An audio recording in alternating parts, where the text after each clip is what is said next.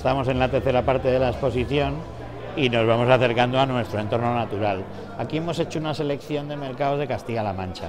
Eh, aunque pueda parecer sorprendente, el mercado de Guadalajara, que cuando se construyó tendría, ¿qué podría tener? 8 o 10 mil habitantes, no más. Hay que pensar que ahora este es un mercado para una ciudad de 80 mil, pero en su momento eh, fue probablemente uno de los primeros mercados de esta categoría que se hicieron en la región. Yo comparable solo he encontrado el de Toledo, que es de una misma época. La mayoría de los mercados que encontramos en la región son posteriores y hay que decir que hay algunas eh, capitales de provincia que han perdido sus mercados. Quiero decir, el, mundo moderno arrasó con esta tipología.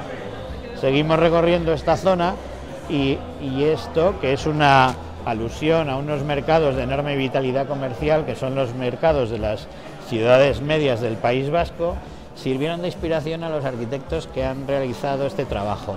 Ellos han recorrido muchos mercados en España y nos pusieron el foco en estos mercados, porque realmente era eh, muy llamativo cómo la ciudad se identifica profundamente con su mercado. El productor local lo utiliza y la hostelería del perímetro del mercado se aprovecha de las sinergias que genera. Al hilo de este esfuerzo por recuperar los mercados hemos traído un ejemplo muy singular, un ejemplo de la rehabilitación del mercado de San Antonio de Barcelona. Barcelona en sí misma puede tener del orden de 25 o 30 mercados importantes. Conocemos la buquería, pero tiene muchos más.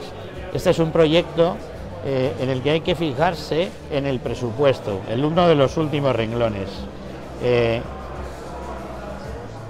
47 millones de euros ha dedicado una ciudad que tiene un enorme potencial turístico a sus mercados. Luego, eso nos da una idea de la importancia que una ciudad que vive en gran medida del turismo eh, pone en ellos. Esperamos en unos días que los autores del proyecto nos visiten. Siguiendo un poco en la línea de las inspiraciones, nos gustó fijarnos en dos ciudades del tamaño de Guadalajara actual, Palencia y Logroño, ochenta y tantos mil y ciento y pico mil habitantes. En el caso de Palencia, eh, la ciudad ha revitalizado el perímetro alrededor del mercado y el perímetro es la Diputación. Nosotros tenemos aquí en nuestro perímetro al, al ayuntamiento. Logroño es un mercado de tres plantas como el nuestro y mantiene una apuesta constante por su rehabilitación y por la revitalización de una zona que todo el mundo conoce. Este mercado se encuentra a escasos minutos de la calle Laurel. Por lo tanto, el mercado focalizó en gran medida una de las zonas más turísticas de la ciudad. Seguimos acercándonos a nuestro entorno inmediato y este panel está básicamente dedicado a la historia del mercado de Guadalajara y a sus distintas rehabilitaciones.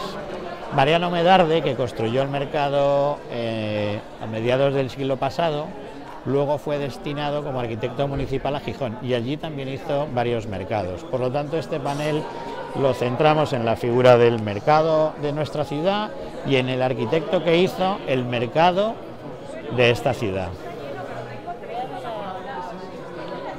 Este panel está dedicado a imágenes que la gente podrá recordar cómo estaba el mercado hasta hace escasamente un par de años.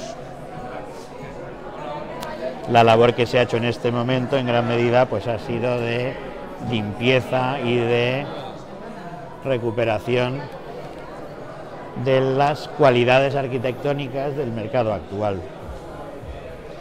Y aquí tenemos lo que estábamos comentando, proyecto original de Mariano Medarde y unas estructuras que mucha gente recordará y que se encuentran almacenadas, que no se destruyeron, que son todas las pérgolas y las galerías que ocupaban la plaza que limitaba el mercado. La plaza es fundamental para la vida del mercado. El mercado revitaliza la plaza y la plaza revitaliza el mercado. Y ambos revitalizan su entorno.